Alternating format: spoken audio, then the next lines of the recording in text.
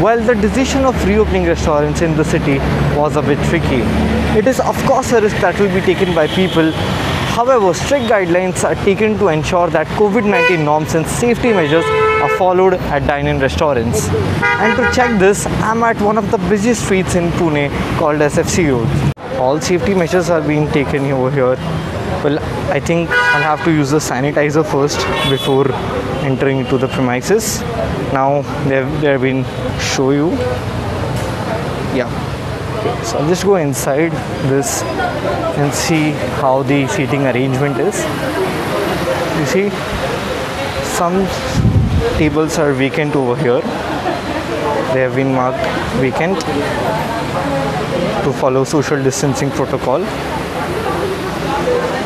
And then I'll try to show you around how the dining experience looks post COVID.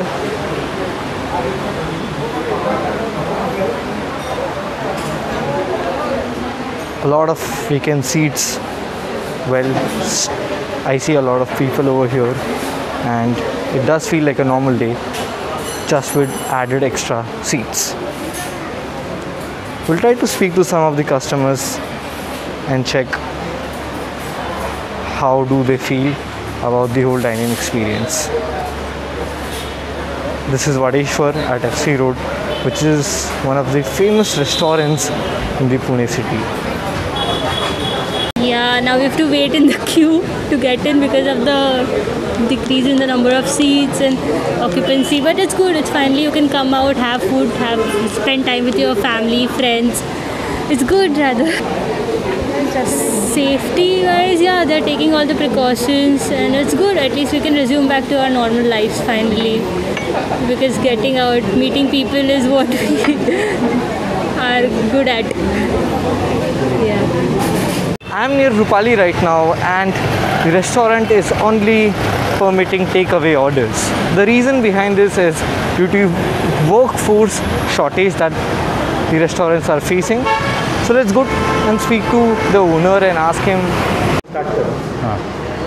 मैं Shashendra Shetty Rupal hotel का मालिक हूँ हमारे जो स्टाफ अभी तक गाँव से आए नहीं है इसलिए हमने थोड़ा दिक्कत हो गया चालू करने में अभी ये बारह तारीख तक हमारा सब लोग आ जाएँगे बारह तारीख से हम शुरू करने वाले हैं Let's visit some bars and see how's the response been so far.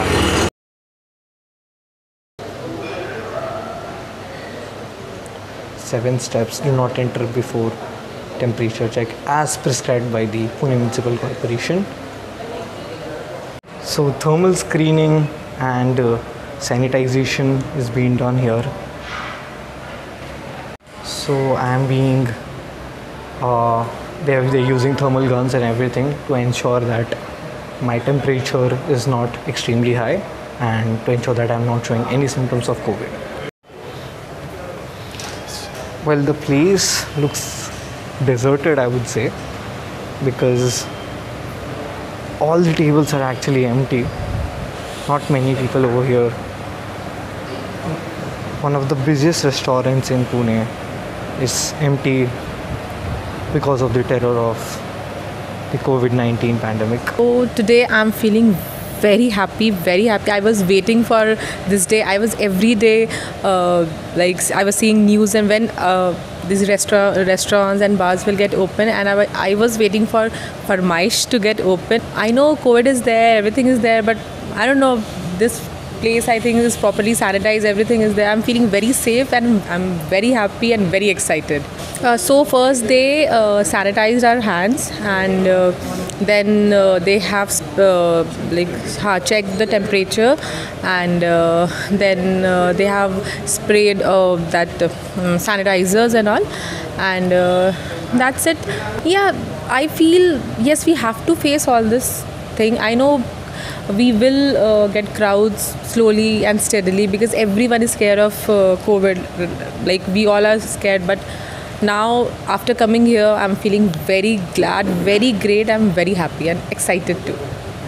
To come here every day. Like we will be coming here every day after the like once we got the news of uh, it is going to open.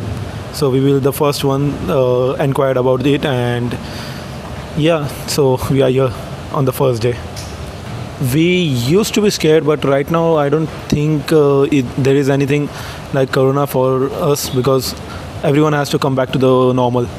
So I just feel like a normal day, and uh, because the since they are taking a lot of measures, so it is I feel very safe. For now, I think it should be like till 11 o'clock or 12 o'clock, but uh, till t- 10 o'clock it's still fine because right now it's just a starting days. But according to me, I think it should be like 12 to at least at least till 12. all the tables look deserted over here. I only see four or five rest- customers who have actually visited this place because by 9 o'clock the owner tells me that they will have to wrap up because the deadline is till 10 pm only. Well, let's speak to the owner himself. Uh, uh, so we we had been waiting this uh, for this for a really long time. Uh, every month we kept hoping that uh, that by the end of the month we'd have a notification that says, uh, "All right, let's start the restaurants, let's start start the bars."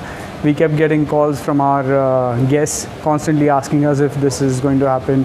Is it this month? Is it the 15th? Is it the 30th? And now that it's finally open, uh, there are other new struggles that we are facing right now, but uh, we're really happy and excited. We had to start somewhere.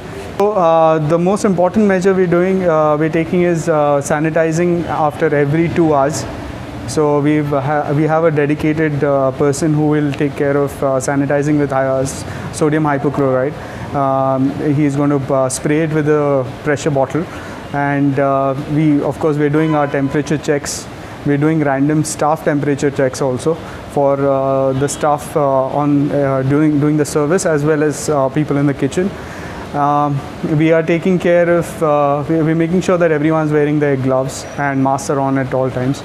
Um, we are, uh, uh, just to be sure and to reduce and minimize contact, we're using contactless dining that is, um, that is a software given to us by Zomato and Dineout and then uh, we're also uh, what we've actually started doing is we do not actually um, like we used to do back in the days uh, we used to have uh, table service happening and in every individual was served on the plate.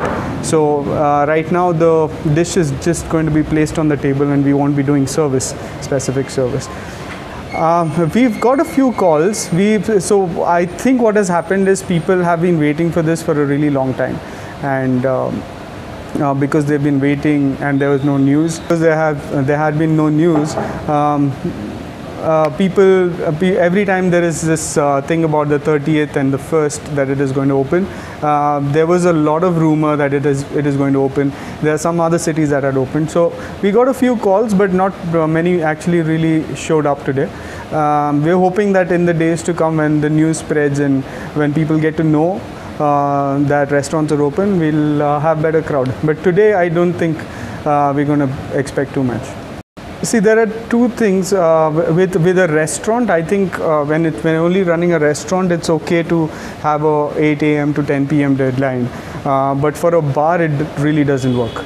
So, uh, so for Farmaish, what we have is most of our crowd actually walks in only after 8:30 in the evening, 8 8 or after 8 in the evening. So the two-hour uh, um, slot isn't going to help us much.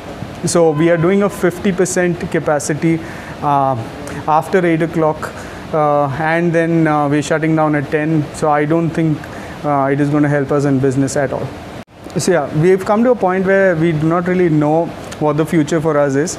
Uh, back in the days before March, we had a pattern. We knew that uh, a Friday would be a certain way, a Monday would, uh, you know, the people would respond on a Monday in a certain way. But right now, we do not know. So we're all hoping that it goes well, but I think it's all, it's all in hope. We, we, we do not really know if people are going to walk in. Um, uh, we do not have the students um, who actually usually walk in early in the evenings. Uh, the corporates are actually working from home, so we do not know if they're actually going to travel all the way from where they are uh, to come and have a drink with us.